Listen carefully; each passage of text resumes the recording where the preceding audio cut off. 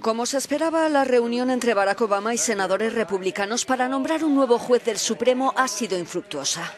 La cita estaba condenada al fracaso. En un artículo publicado horas antes, el líder de los republicanos en el Senado, Mitch McConnell, decía que el Senado no debería considerar ninguna nominación hasta después de las elecciones de noviembre, cuando el pueblo haya hablado y haya un nuevo presidente.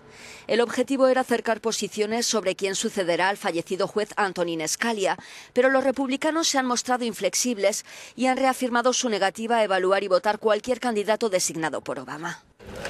Scalia murió el pasado 13 de febrero. Era uno de los jueces más conservadores del Supremo.